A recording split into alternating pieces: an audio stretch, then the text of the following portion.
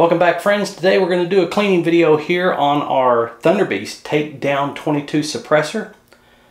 Took me 26 months to get this thing. Uh, that's another video, but we finally got it.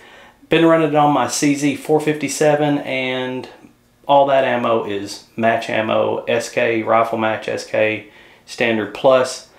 But I've also been running it on a cool new pistol that I got, which is a SIG 322. If, you, if you're looking for a 22 pistol, that's the one to get.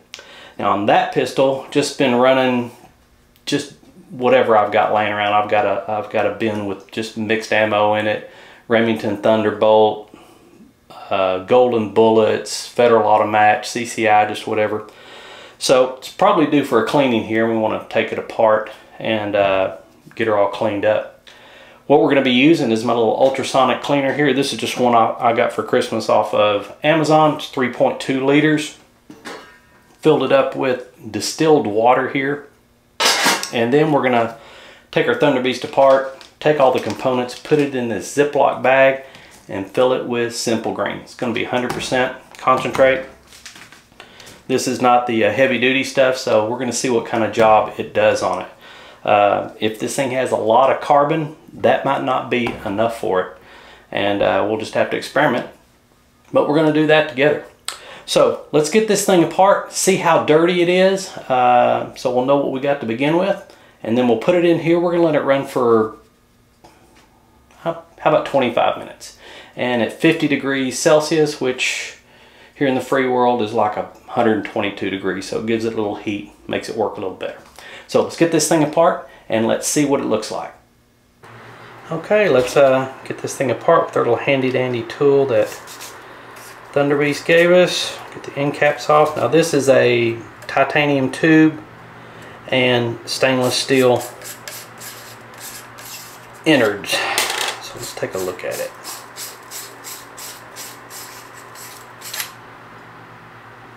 Okay. Not too bad so far. Okay, it all comes out and the way Thunderbeast does it. Got it all numbered here for you and uh, they have a marking here so you can put it all back together the same way. You can see this little uh, offset in there and that needs to be lined up all the way through for this thing to work. So if you got your numbers right then it will be fine. Okay let's uh, get these apart.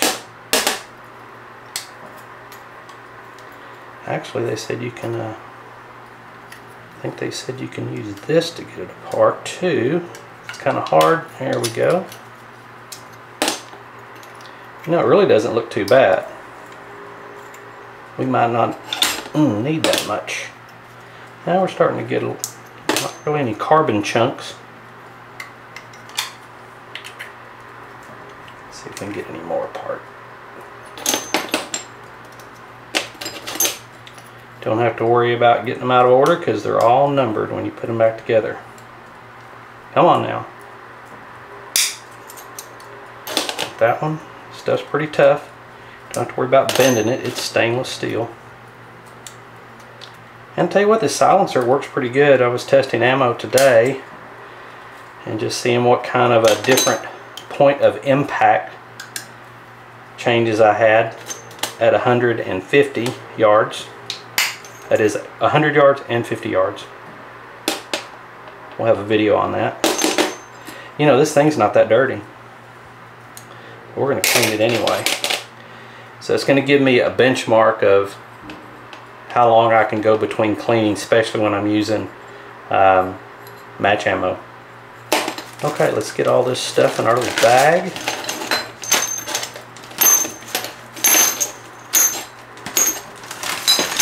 And in there Little simple green.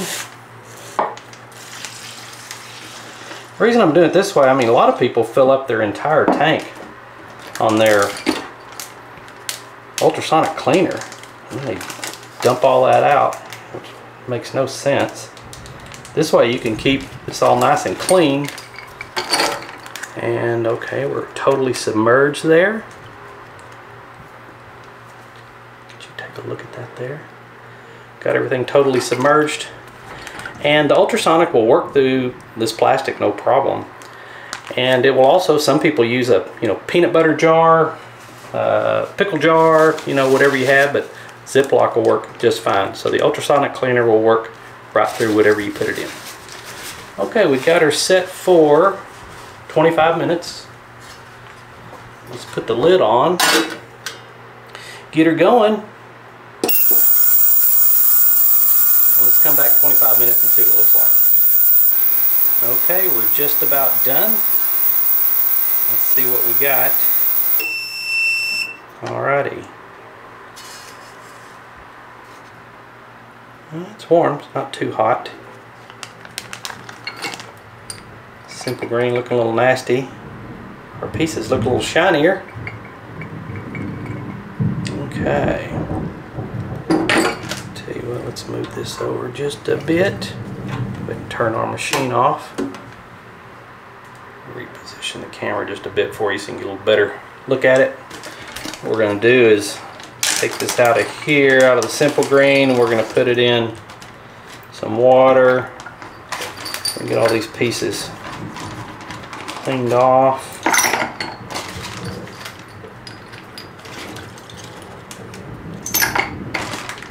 Off a little water and then we'll see what it did. Good thing about this simple green is it's biodegradable. Just throw it out, you don't have to worry about it. It's not caustic. Okay. Let's look and see what we got. A little closer here for you.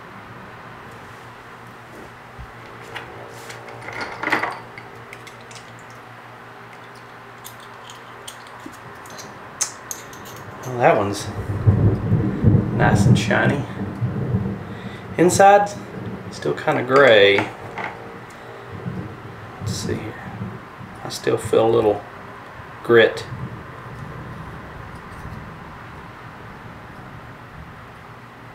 I don't know if it needs to go longer or maybe the simple green is not tough enough. Still feel it here too. Look at some of the rest of them.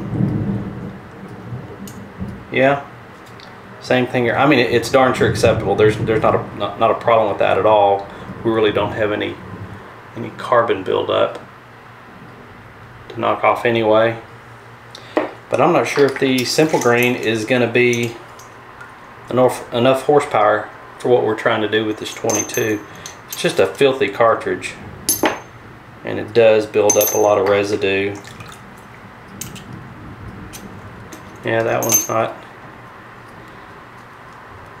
That one's not as good. Yeah, well that's uh that's our first experiment, folks. We're gonna go with uh I'm gonna say no on the 100% simple green. Guys, I'm just not really happy with the results at 25 minutes. So I think what we're going to do, since we have everything ready to go, I think we're just going to throw it back in there and we're going to let it go for 35 minutes. That'll give us a total of one hour. And just see if that, oh great, that wasn't a very good idea. That'd be a total of one hour clean that off a little bit. And just see if the simple green is going to be enough to cut it. Now, they do have a heavier duty product, but I thought I would try this since we did have it. And we'll just, uh, we'll just put her back in here. Let it go for well, 35 minutes. That'll give us a total of an hour. And see if it makes any difference at all. I mean, right here we got the stuff. Let's try it real quick. Go up to, let's see if it'll go, forget how far the, yeah, it only goes up to 30 minutes. So, you don't want these things running all the, all day. Okay, I'm gonna go 30 minutes and then we'll check back and see if that helped at all. Well, about done here. let's see what we get after an hour. Now, the temperature did go up to 48 degrees Celsius. It's gonna be a little hotter. Yep, water is definitely warmer.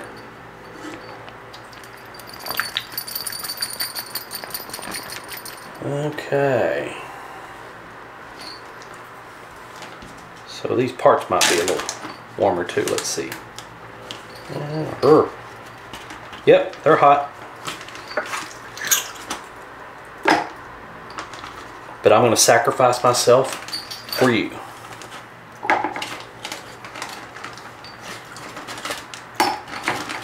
Hot, hot, hot, hot. Ooh. How many more do I have? Hope not many.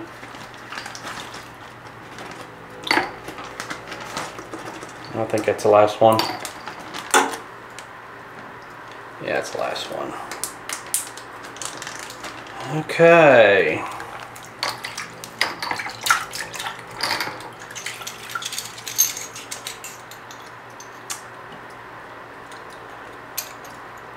I'm not seeing a whole lot of change. Let me get these out here real quick.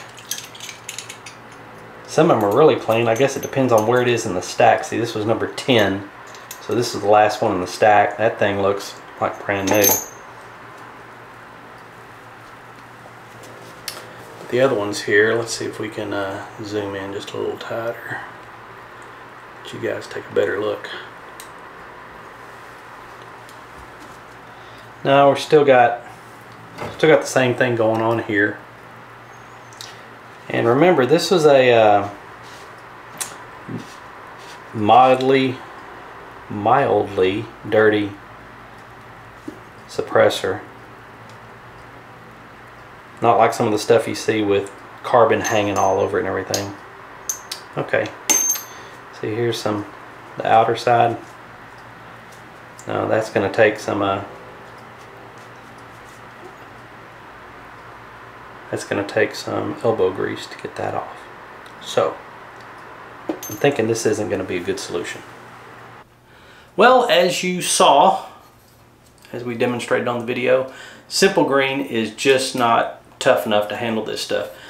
This suppressor was not that dirty, so you can imagine what it's going to be like when you've got big chunks of carbon and things like that. What I'm going to do now is uh, we're going to occasionally take this thing apart. We're going to shoot it a lot out of the pistol with the crappy ammo. I'm just about done with all the testing I'm going to do on the rifle. And um, but we're going to see if we can get it dirty and just occasionally I'll, I'll pull it apart and look at it and see if we can get some carbon built up in there get it good and dirty and try something else. Uh, Simple Green does make a product called Simple Green Heavy Duty Pro and since I am a pro uh, I can probably go buy some at Walmart or Home Depot. Might try that. I'm gonna have to look at the spec sheets on it and just see how tough it is. Maybe run the same experiment with this and see if it works Good thing about the Simple Green stuff is it's you know biodegradable, so you don't have to worry about uh, disposing of it. You know some of the other solutions that people use uh, pretty caustic. This stuff, as you can see, you can get it on your hands, whatever. It's not going to be a big deal. So we're going to give this two thumbs down. Don't waste your time on it. I wasted the time for you, and that's why they pay me the big bucks to do this. So if you got any comments or questions, put those things down below. You got a solution that works for you let us know, share with the class, we can all learn together. And until next time, you guys be safe, keep that muzzle pointed in a safe direction, and we'll see you out on the range. Adios!